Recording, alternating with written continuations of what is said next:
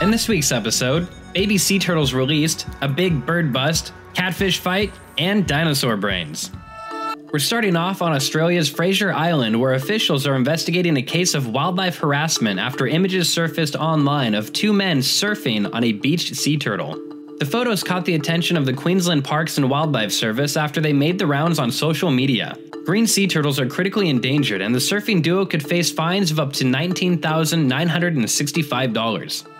In another case of environmental crime, a hunter in Jordan was arrested last month after he was found in possession of 7,000 dead birds, marking the worst hunting violation ever recorded in the country. Authorities seized 6,800 blackcaps, 40 Eurasian golden orioles, and 45 laughing doves, which were likely on their way to an upscale restaurant to be sold as a delicacy. Illegal bird harvesting is on the rise in the region, and conservationists are concerned that penalties for such violations are not severe enough to deter criminals. On to some happier news. Plans to release half a million baby yellow spotted Amazon river turtles are underway in northeastern Peru. Volunteers working for a government conservation group collected a mass of turtle eggs back in August, and after incubation and hatching, several of the tiny turtles have already been set free in the first of three scheduled releases. The species is listed as vulnerable, and it's hoped that the conservation effort will help to ensure its long term survival.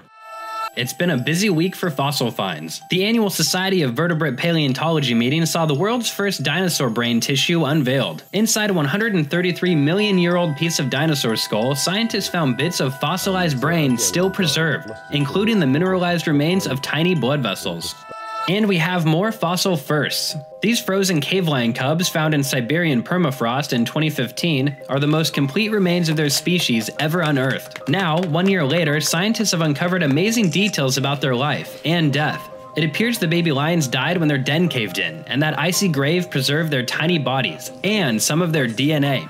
Rounding off with this ambitious catfish clash. The flathead catfish on a gulping mission was filmed in West Virginia's Indian Lake. But was it lunch or a territorial skirmish? We'll never know. That's it for this week. We want your opinions on these nature news stories, so tell us what you think in the comments below.